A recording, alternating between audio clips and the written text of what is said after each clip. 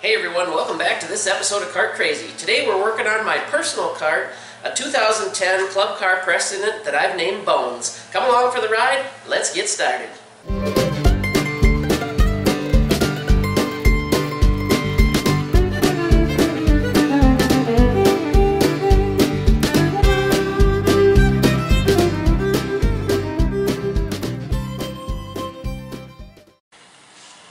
So on the first episode, um, I slapped in this uh, Eco battery, which I still don't have hooked up completely, just enough to run it around.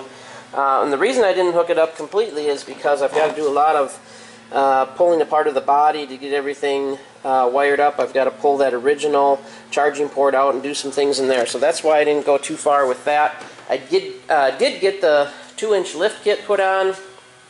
Still not 100% sure if I'm happy with that or not. I had to make a lot of adjustments uh, in the front end.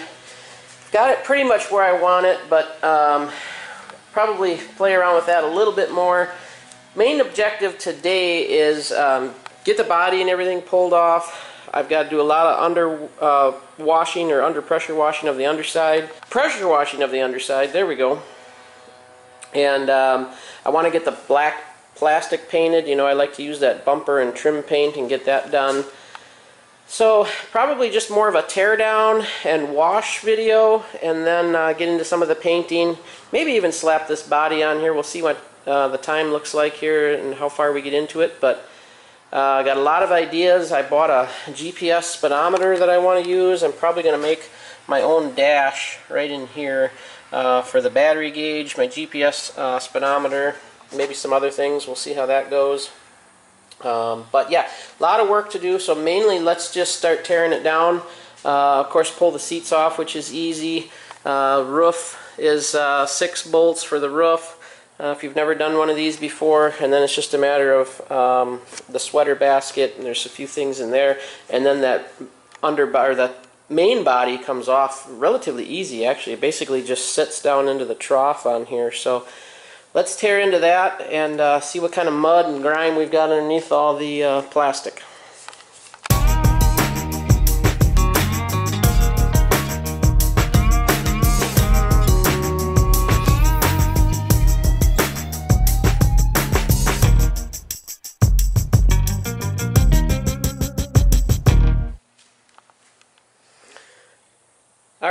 Might look really intimidating to some of you, um, but literally, I didn't look at my watch, but that's probably 10 or 15 minutes. Um, you know, obviously I've done a bunch of these, so I know where all the bolts are and, and what sizes they are for the most part, so um, it may take you, you know, even twice as long, 30 minutes to get it down this far, but look at all the dirt and stuff we got to contend with here. Um, the other thing I noticed is if you remember from the first video, this cart sat with uh, the lead acids, which are sitting over there, plugged in for like seven years, and it just boiled those batteries.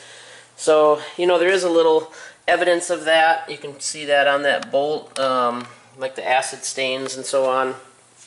But what I want to do um, is finish going down a little farther. I'm going to pull the Eco battery out, and we're going to pull this wiring harness out and the reason being, and I might have shown you this before, um, with Eco, they actually make it so you just plug an extension cord in.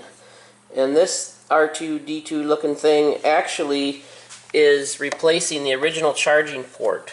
So instead of having all this extra wiring in here, going back to the computer and so on, we're just going to plug this guy in and then this will plug into our Eco charger and then we just use an extension cord. So I'm going to pull the battery out. We got to pull um, the screw out here and lean that forward so we can get at the back side of this harness. But I'll show you that uh, once we get into it a little farther here.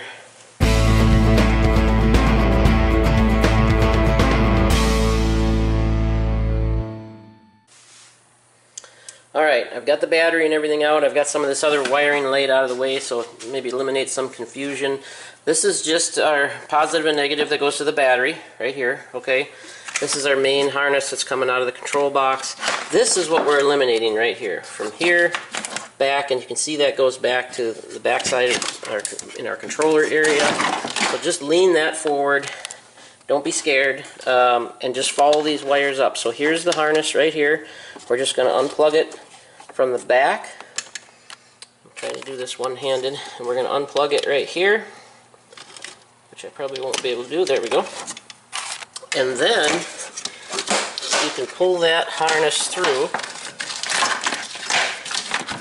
That's all that goes back there. So that's for the onboard computer, which we're no longer using uh, because and when I say onboard computer, I mean for the charger. Obviously, we still have our, our brain box for the control box for the card itself. Then you're going to want to come out to the front, and if you look right here, there's these little um, holes right here, and what that does is it allows you to release, get in there just right. Like I said, I'm trying to do it one-handed again. There we go. And you can pull this cover off a lot better with two hands. There we go.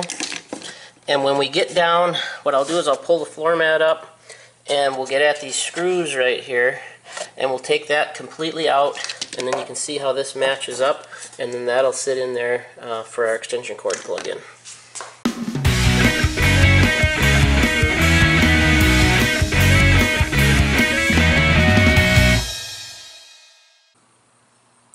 Alright, so what I'm doing now is I'm taking out that old light wiring harness. What I did is I pulled the floor mat up, and then there's three screws that hold kind of this kick plate in. Got that out of my way, and all of this right here is all uh, the aftermarket wiring harness, which I'm going to pull out and then I'll reuse the harness because I'm putting a new body kit on there. I shouldn't say reuse, I'm going to use a new harness from the body kit. So I'm trying to get rid of most of the wiring and get everything cleared out so I can get out and blow the dust off of this thing with the pressure washer and then we can kind of start reassembling with the new body and the new wiring harness and reversing the process I guess.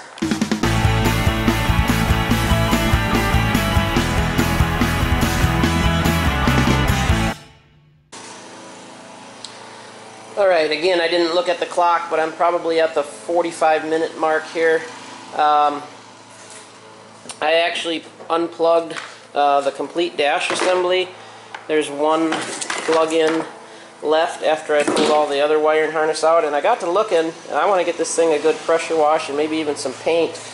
I've literally only got just a few more uh, things to unbolt and unplug and I can pull this whole computer and wire harness and everything out. I've never done that before. I've always cleaned it with everything in. Uh, it does make me a little nervous with electronics and of course you have to be you know kind of cautious and move things around. So I think I'm just gonna go ahead and do that pull the whole wiring harness out. Then I can get this thing outside and really feed it the onions with the pressure washer. And uh, yeah even pull a lot more of this plastic out. Maybe I'll pull the battery tub.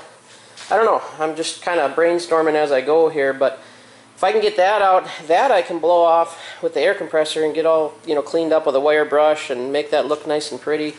Um, and then I pulled up the pedal assembly and that literally if I unscrew that the whole pedal assembly will come out and I can protect all the electronics there.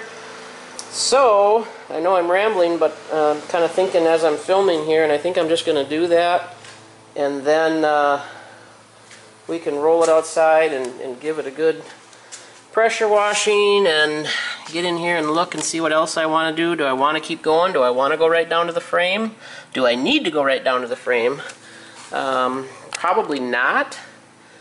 Um, but we'll see. I don't know. We'll keep chugging away here and I guess we'll decide as we go.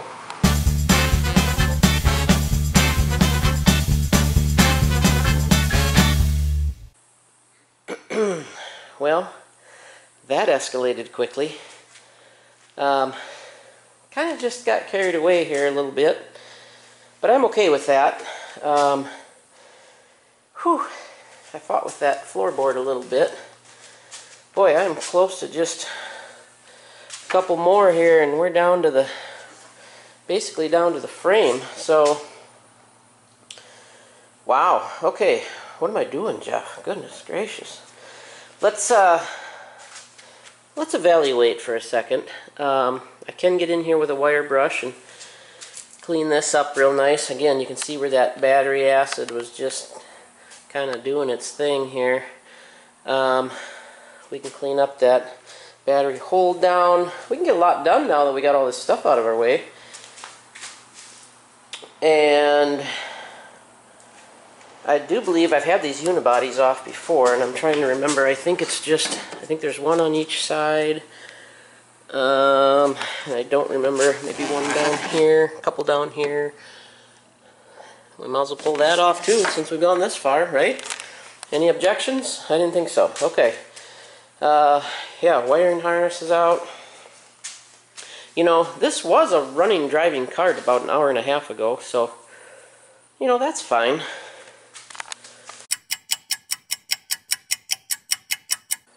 Okay, about 90 more seconds and uh, the rest of that comes off. So I got, a, I got a garage full of parts here. I mean, it should be fine. Um, yeah. I'm just uh, just kind of wondering what I should do here. Um, I've seen guys paint these frames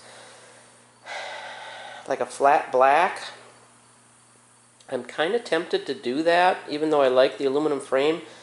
Um, it does show a lot of dirt. Of course, black does too, but I don't know. I'm thinking here. I could literally flat black everything that's left here. I don't know. I'm going to shut the camera off and go in the house and collect my thoughts for a minute. I'll be back with you shortly. Alright, went in the house for about 45 seconds and came back out with a plan. Um, I'm going to knock, I did knock some of this uh, bigger chunks off with a wire brush. I'm going to take what I don't need, like the body kit, I'll take that to the warehouse um, and save that for another project. I'm going to take these parts outside, pressure wash, paint what needs to be painted, probably just the under dash on this and then the underbody that shows on that, pressure wash all those other pieces like that rear bumper support. And I'm, I do not think I'm going to paint it. Um, I thought about it a little bit. One of the main reasons is the, the good paint that I like to use um, I can only get at one place in town and they're not open on Saturdays. I should have stocked up a long time ago, but um, of course I could run to Home Depot and get flat black paint, and but that's not the same. The stuff that I use from this, it's a bolt and screw supply store in town here, is amazing. I can't remember the name of it, otherwise I'd tell you, but um, if I was going to do that, that's what I would do. And and I was kind of on the fence about painting the aluminum anyway, so I'll probably just leave it. I do have some undercoating but that's more of a rubberized and that can be kind of messy and I don't really want to do that. So what I'm going to do um, is just clean it up as best I can. I haven't serviced that rear differential yet either. I'll probably wait until after we're done with everything. And what I'd like to do today, um, it's, it's only a little after 10 here in the morning, 10.30 I guess almost, um, is try to get a lot of this reassembled and that way um, it's a lot easier to move around in the garage if I can have all the pieces not scattered all over the place for one and partially assembled. So I'm going to do that. I'm going to move some stuff around here, get this outside, do some pressure washing and some painting, and then we'll kind of reevaluate after that.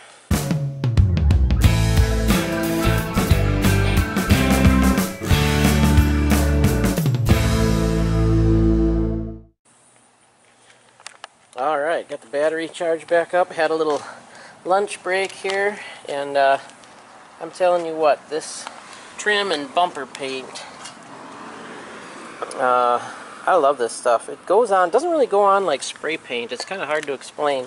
Um, it goes on really good and it dries almost instantly. So I've got the pieces painted that you're gonna see um, the dash under the dash. Obviously I didn't do anything with the floor because that all gets covered. I did underneath the cowl because you probably will see that a little bit. That might need a second uh, second application. I didn't do much with the sweater basket. I didn't do anything really because that's going to be replaced. So that's not going to be used. And I probably will buy new rocker panels um, just because it's my personal cart. They're like 18 bucks a piece at the dealer. And then I'll save those for another project. But the kick panel and the cowl support so we're ready to start reversing the process here. Um, And uh, I don't know how much we're going to get done today, but might as well give her our best shot. Here we go.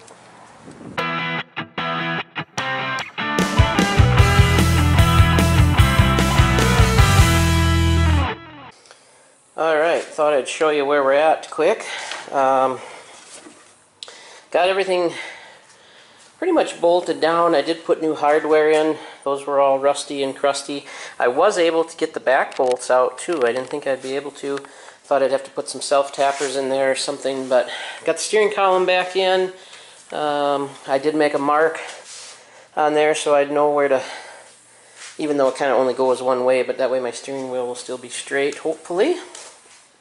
Um, I did take the whiz wheel and kind of clean up some of the corrosion on the on here, blew the dust off. I mean, you could really get carried away and drive yourself bonkers on cleaning this stuff up. And this is probably going to be fine. I mean, it worked before, so that's good. Um, probably throw some of the electronics in. And then I think what I'll do, maybe the pedal assembly, is I'll run over to the warehouse and grab that other body kit See if we can't get some of that on here today too.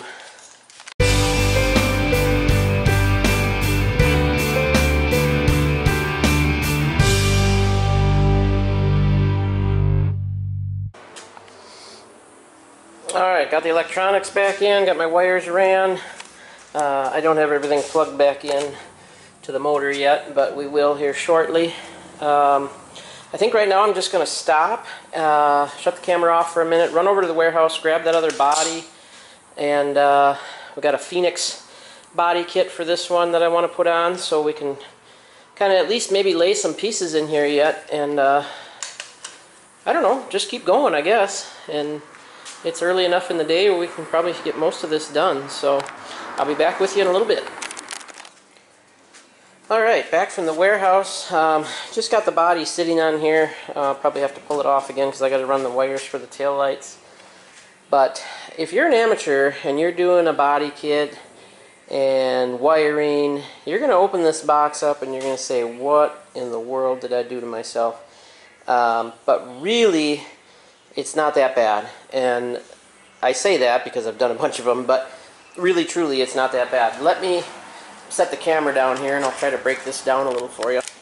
Alright, this is the main wiring harness, okay, for the headlights and taillights. And I'm going to unravel this and kind of break it down for you.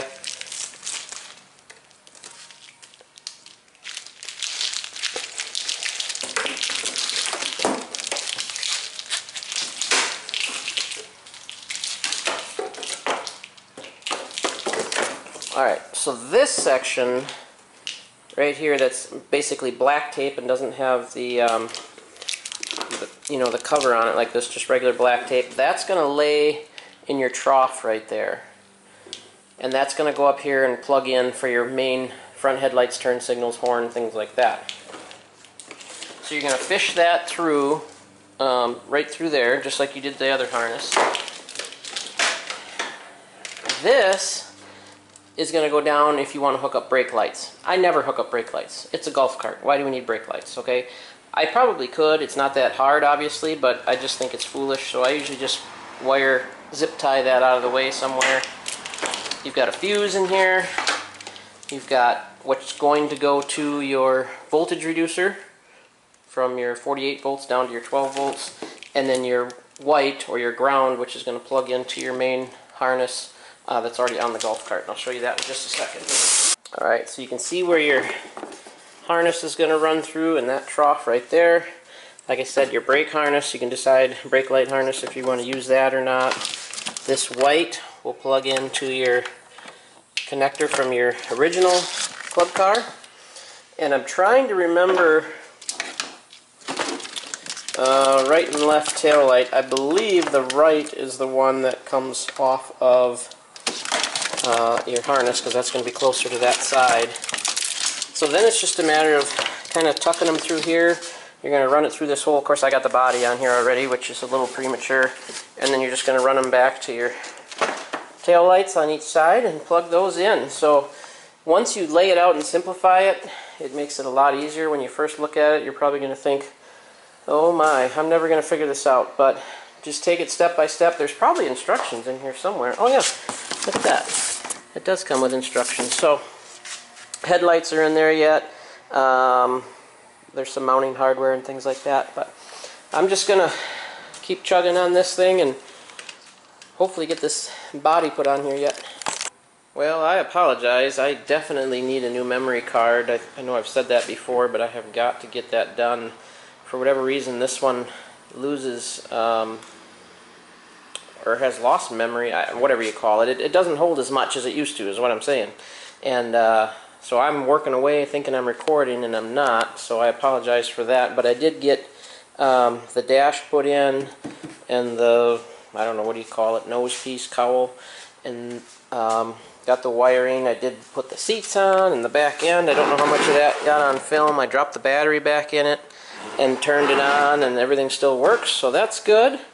Um, what I'm going to do now is pop these headlights and grill in and basically just probably set this body on. I'm not going to get the wiring done today, even though there's not a whole lot left. I'm, I'm just kind of running out of steam and going to go uh, put my feet up here in a little bit. So let me get those in and then set that on there. Maybe we'll get the roof and stuff on, but at least it'll look like a, a golf cart again here before we're done.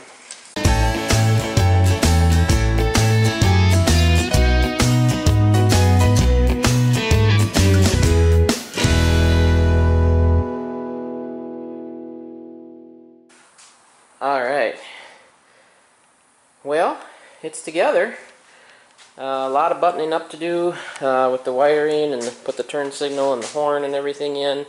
I'm making a custom dash in there. I don't have all the pieces for that. Got a little surprise for you. Rather than put the double take sticker in there, had one of these bad boys custom made. So we're going to put that in there instead. That's going to look a whole lot better. Got to do something with the front bumper. But other than that, button up few things for today and it's drivable and usable. We just got to finish up some wiring. Well, that's going to do it for this episode, everyone. Thanks for coming along. Uh, I started on this project about 9 o'clock this morning, took a few breaks, went and grabbed lunch with my wife. Um, it's now 4 o'clock, so we had this thing completely down to the frame and back together again in basically a day. Now, I know I've done a bunch of these, and if you've never done one, it might take you maybe two days, but uh, the point is this, don't be afraid to get out in the garage and tackle something you've never done before. Um, there's always help on the internet, there's always, you know, YouTube University for that matter, but um, go ahead and get out there and do something, whether it's a golf cart, a bicycle, a dirt bike, maybe an old hot rod, whatever it is. But uh, appreciate you coming along, and we'll see you next time on Kart Krazy.